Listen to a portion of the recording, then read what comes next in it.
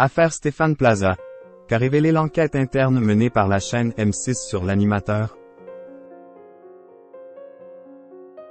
Quelques semaines après l'ouverture de l'enquête interne menée sur Stéphane Plaza par M6, après l'affaire qui a exposé l'animateur, les conclusions ont été dévoilées.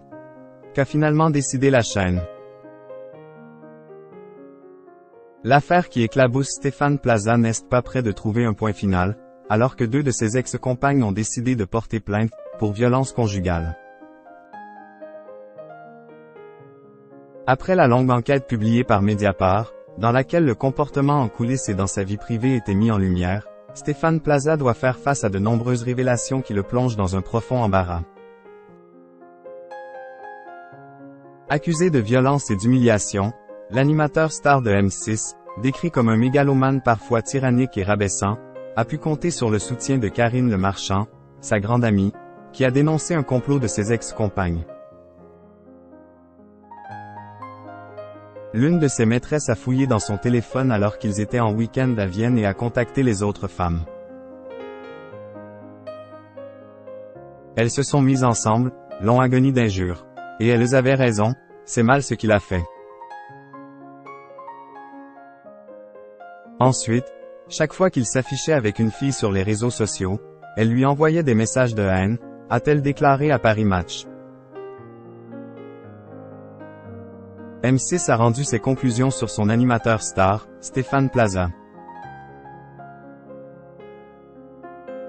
Récemment, alors que M6 consacrait une soirée à Stéphane Plaza, une manifestation avait été organisée devant le siège de la chaîne, pour dénoncer la mise en lumière de l'animateur comme si de rien n'était, comme toujours, comme si on pouvait frapper les femmes sans conséquence, comme si notre parole ne valait rien.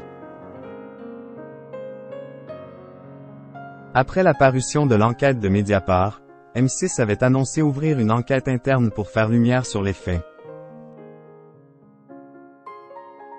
Dans Paris Match, les résultats de cette enquête ont été dévoilés.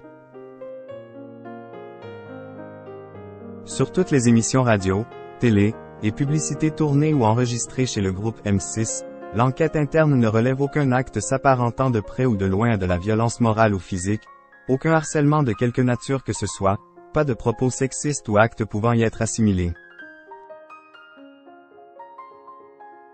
Peut-on lire dans les documents consultés par le média?